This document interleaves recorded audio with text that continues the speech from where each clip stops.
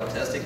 And what we are doing, we have been started with tracking apps three years ago. So our first app was a tracking app for runners, bikers, walkers, you know, each activity which you can track we are built in GPS. Our apps are available on all platforms, not only on iPhone, Android, also on BlackBerry Windows Phone.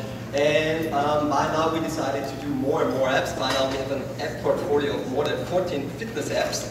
And our apps has been have been downloaded more than 16 million times, and we got about 50,000 new downloads uh, per day. And people came to us and asked why we can't build hardware for our apps.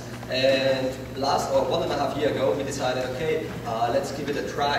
And so we tried with first hardware monitor, which is working with all platforms. And then we saw that people are really, um, they really love the Runtastic hardware because they do already know the Runtastic brand from the apps and then we went into the hardware business. So I think we're one of the first company uh, which started with apps and then went into the hardware business. And what we have found out that it's working really, really cool. So we're based in Europe. The hardware is by now only available in Europe. By this year, by the end of quarter one, we are starting also in the United States.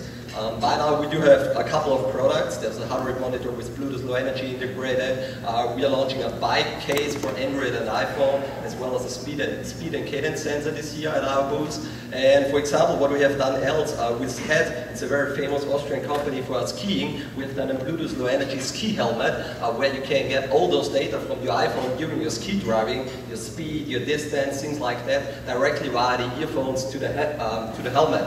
Of course, you also can uh, phone, uh, listen to music and things like that. And as you can see, so um, it is possible to, to come from the software world, from the app world, to the hardware world. And um, tomorrow we will be at the, oh, on Thursday we will be at the Mobile App Showdown. Uh, we made it to the top 10. We are a new fitness app collection.